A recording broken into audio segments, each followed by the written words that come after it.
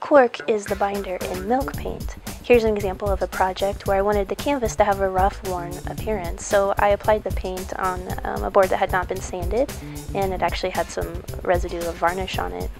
On a blank canvas where the wood has been prepared, you can see that the paint goes on much smoother.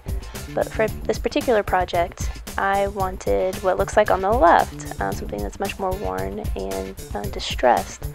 But as you can see with milk paint, you can have the same paint and apply it on different backgrounds or different types of canvases and have an overall different look to it. So let's get started.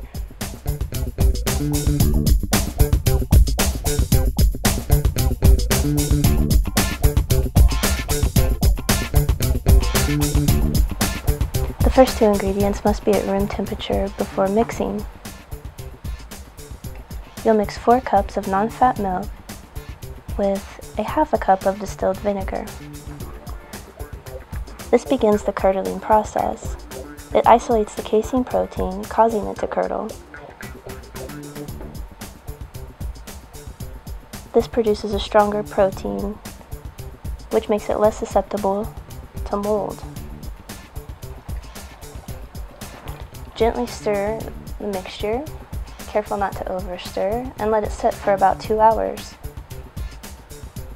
When it's ready to strain, it'll have the appearance of a cottage cheese or curdled milk proteins at the top. You'll pour your mixture through the cheesecloth. And it's important to not over squeeze. When you do, it will look like this. You'll see particles stuck to your cheesecloth.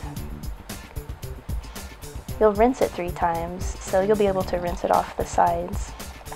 Each time gently squeeze the vinegar out.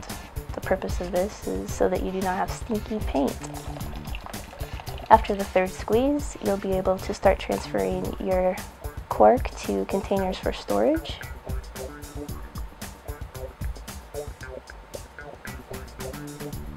It'll have a consistency um, of a lotion. You'll feel that it's really smooth and it's ready for storage. You'll be able to keep it for a week awesome.